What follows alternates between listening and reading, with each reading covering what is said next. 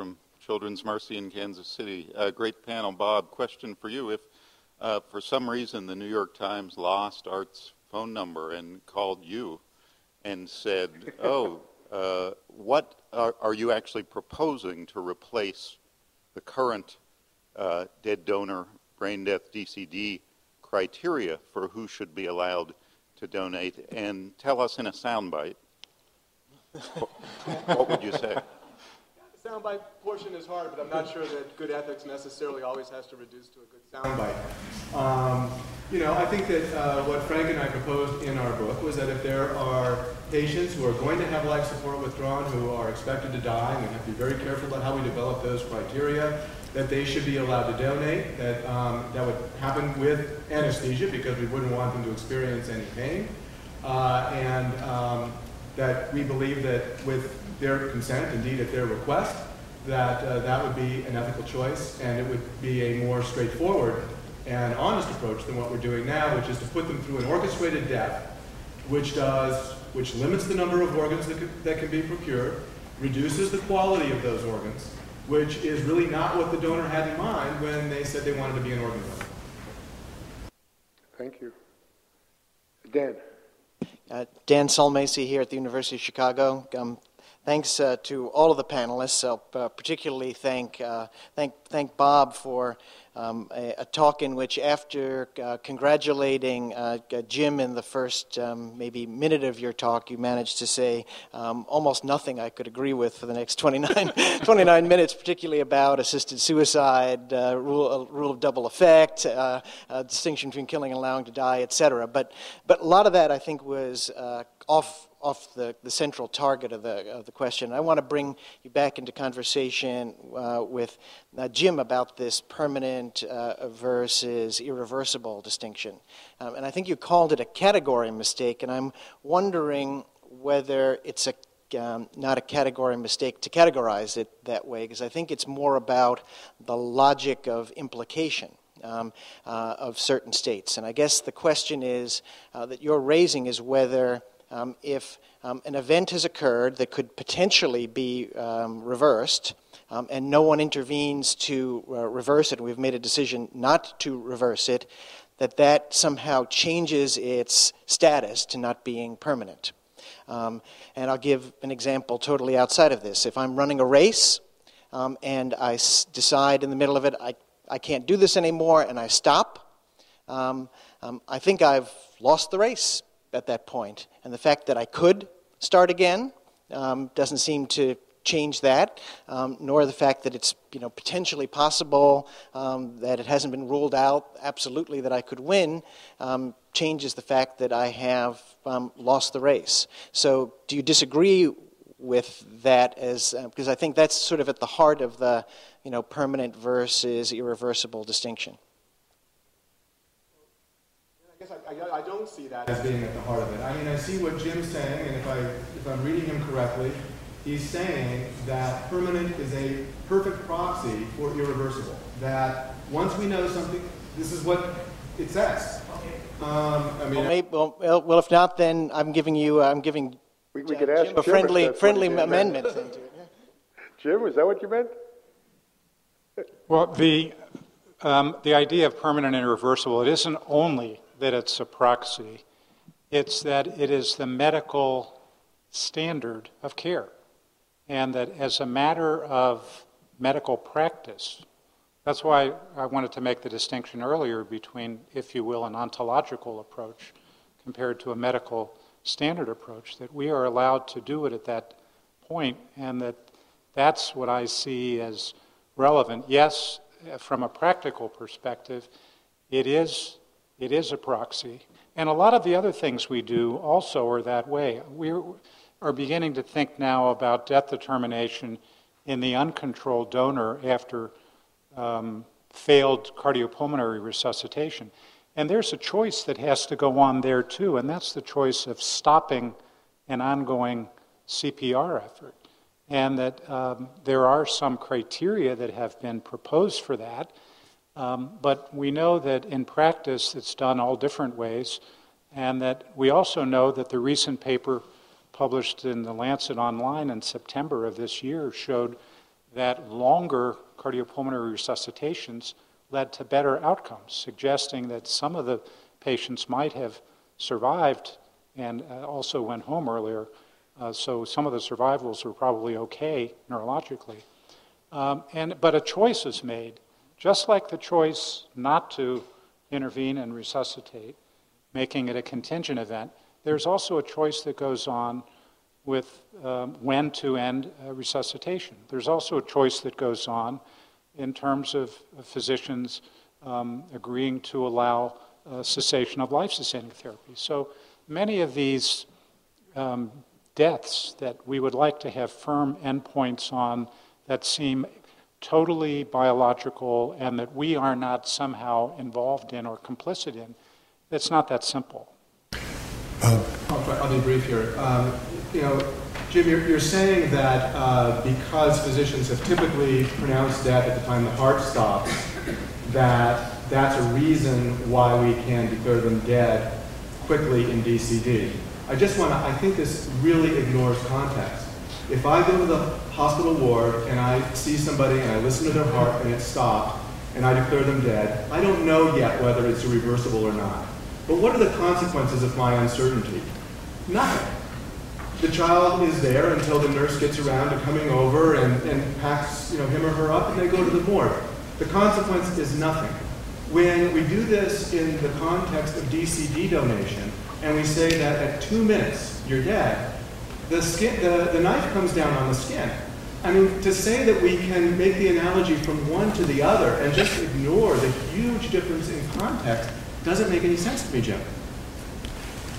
No, I'm not familiar with it, but there. No, but the more general question you're asking, and, and I think this is a good panel to ask that question of, is how permanent and how irreversible is the diagnosis of brain death? Are there ever mistakes? Are there ever people who have been shown to come back from such a diagnosis? I guess that's behind your question. Well, it is because actually, I was um, my husband was in the ICU, and there was a young woman who was 29, had a two-year-old child, and she, uh, in effect, was declared brain dead and uh, the hospitals, uh, the, all of the ICU, because I was often in the waiting room where some of these consultations were taking, taking place, they wanted the family to remove all life support. And the, the parents and the family just couldn't quite do it then. Well, two days later, I was there when it happened, um, she woke up.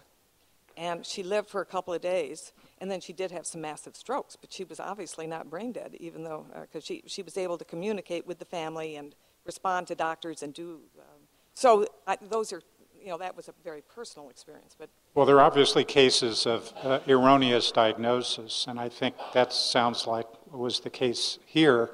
There have been two well-reported cases of fulfilling the clinical criteria for brain death following rewarming after therapeutic hypothermia protocols to limit brain damage after cardiac arrest, where um, they did recover somewhat.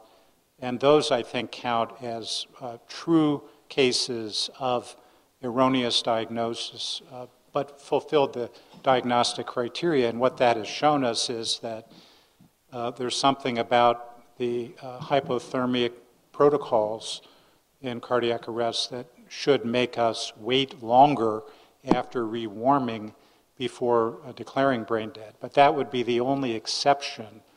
Um, more commonly, the term is either used improperly or the testing is done improperly to account for cases like you're describing. Thank you. Thanks, Nancy. September? Hi, I'm September Williams, a former MacLean Fellow. And I am um, speaking of the Winnipeg Protocol for Frozen People um, coming back, when I was in Winnipeg in school in 1972, I had the opportunity to pass out leaflets in front of a demonstration um, where Chris Barnard was speaking. And I handed him a leaflet. He looked me straight in the eye in 1972 and said, Thank you. I mention this, and this is directed to Dr. Caplan, because I believe he had never been handed a leaflet before. When you talk about the difference between constructive engagement, the relationship between apartheid at that time and what's happening in China and the use of human research subjects without their consent was, was quite parallel, as it has been throughout history with African Americans and Native Americans in this country historically. The question is, is do you use sanctions or do you use constructive engagement or do you use targeted constructive, constructive engagement? Um, Chris Barnard was a perfect person to tap his inner humanity and say, You're on the wrong side, man. Come over here, okay? You want to do transplant, but you got to get on the right side. So, do you have in the rubric um, a targeted constructive engagement for this? Yeah, that's task? a great question, and there has been some discussion among people who have sort of rallied to be in opposition. Uh, within that group, you see the whole range. You see the sort of no contact, no uh, interaction on any front with China until they stop the uh, barbaric practice. Then you see more where I am, which is boycott particularly transplant related scientific and medical activities, but try to constructively engage with people of goodwill in China or who can uh, influence people of goodwill in China to keep moving. So mine is the tactical or focused. We're not going to let you report at the meetings on liver transplant outcomes, but we're still going to be talking and maybe other medical meetings you can come to and talk about other things. We're not, it's not a complete ban. I, I don't think anybody empirically knows what's the correct strategy to follow in trying to change a nation state's policy about a evil practice. But I'm sure that part of it in the case of China is to keep the PR focus there. They, they don't like being called out. I can tell you this week, the Israeli parliament, who knew, picked up on this boycott idea, and about 10 of them wrote a letter to the Chinese government saying you should stop the practice. Chinese government has gone crazy. Is now asking the Israeli government to censor the 10 Knesset parliament members. Good luck I like that. I mean, that's good. You know, that's a lot of PR, but the, it, it's an example of what they don't want. They don't want to be seen as pariahs. They do want to be seen as a modern state coming in to join their fellows at the table of science and technology. So, I, to me, it's it's both carrot and stick. I still think that's the tactic. Are there that- transplant surgeons in China that would be willing to put their lives on the line that you know of? Careers, maybe. Lives, I don't know. Careers, maybe. Got to look for them. I, I think we'll take, we'll take three more questions. I'm going to ask the final three questioners to be fairly brief in the question. Je- Jeff Gossett, Lurie Children's uh, in Chicago. Um, I'm a transplant, a pediatric transplant cardiologist, um, but not an ethicist. One thing I would say that struck me from these conversations is that one will always be able to find an example where our rules did not work. The child who, the patient who woke up, the example of an erroneous diagnosis of brain death. Um, and that list obviously could go on, uh, including the, the child who was taken to the, to the OR and brought back to the family despite their wishes otherwise. If you would postulate that there's always an example where this is wrong, then we simply shouldn't be in this practice, period, taking your arguments to the extreme. Obviously, I don't agree with that. Um, and so the question becomes at what point do we find a reality of what we do that a discussion with a family has a right to accept that that family should have been allowed to donate. We allow our patients' families to not accept donation. We had a baby whose parents clearly expressed understanding, did not want a transplant, and the baby died. We allowed that to happen. Why shouldn't we allow the parents who, whose child goes to the OR to be allowed to be a, be a, donate, uh, to be a donor? Um, I think we place artificial barriers without um, by setting these rules, the question is where we set them and why we as a society place these when you obviously both spend a lot of time thinking about this and have very different views.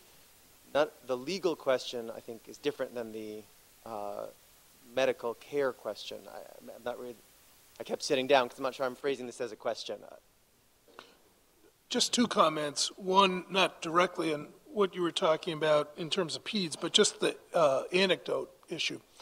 A couple of years ago now, just at this time of year, there was a story about a man in Belgium, uh, who uh, Rom was his name, who allegedly had been uh, in a permanent vegetative state for 17 years, and then woke up and began to write a book. Um, I looked into that case because it seemed to me unlikely, although I guess the Newsweek thing maybe not so. But in any event, the point isn't so, and in fact, it wasn't true. He had been writing a book with facilitated communication, and the people helping him write the book were the authors, and he had not written the book. It, it, people had hoped. But I don't know the Newsweek book. I do know the Houben story, and I do know that Sanjay Gupta, the estimable doctor of television, um, wrote a book uh, two years ago in which he talked a lot about people waking up and miraculous recoveries, and we can never be sure who's really dead. The culture has a very strong interest in finding out that hope always goes on.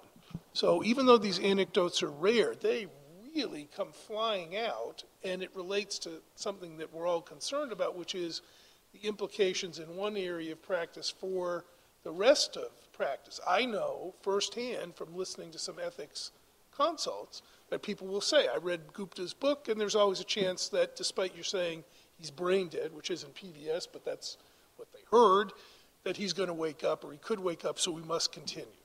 I don't know how to handle the sociology of all of that, but it's there, and I think our culture wants to drive toward a kind of belief in resurrection of a sort that might be religious or who knows, but it's in the culture.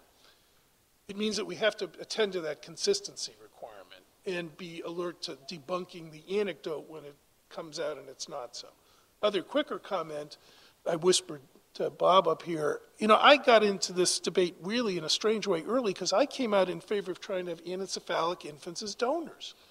And it got crucified as an idea. AMA, everybody and his brother came out and opposed the suggestion. It's not far from where Bob was is trying to go. I was trying to say the category is distinct. Maybe we could have two rule, sets of rules, one for everybody and one for encephalics, and then we won't worry about a slippery slope. But the public reaction to the anencephalic donation, with parents wanting to do it and feeling it was the only thing that would redeem this terrible thing that had happened to them and so on, was really, really negative. It, it, it's just that we may sell the dead donor rule ourselves and have convinced the public that they better stand by that rule in a way that we don't understand. But I, you know, looking back at that experience, does the dead donor rule really matter? It sure did in that one. You know, despite parents who were willing and no harm to the infant and all the rest of it, we could, I, that policy went nowhere. Except Cal Stiller in Canada. Yeah, Cal Stiller did a few, but that even petered out after Right, a time. yeah. yeah. Tracy. Tracy Koogler, University of Chicago. Um, I'm a PICU doctor. I declare brain death and I've done DCD. I really wonder, I agree that neither death is perfect. Um, and I also have a talk of are they dead yet? um, but I think that families, when the heart has stopped, see the patient as dead. And I think declaring death in the PICU is a better place to do it than declaring death in the OR after the organs have been taken. I will tell you, since I think I've done all of the DCD donors at this institution in pediatrics, I hate declaring those kids dead. and I'm 100% in favor of it, and I hate doing it. They're the hardest kids I have to declare dead. And I feel like that if we go to taking the organs while they're more alive than DCD, that we're just turning it over to our transplant surgeons, and I think that becomes a much bigger conflict. Okay, I mean, you know, I, mean, I do this too, and I want you, I want you to know that uh, um, none of what you heard up here shows up when I'm in the intensive care unit. I toe the line completely, okay? Um, I make the diagnosis of brain death, I use all the right language. I mean, it's not fair for me to come into that environment and, and, and, and bring a different vision. Although I do feel that there's a lot of indications that we're moving in that di direction. Um, and um, you know, I don't, I don't know how to uh, uh, address what feels most comfortable for us, and, and everything else. I mean, I, I found different parents have different views, and uh, I think it's hard to generalize.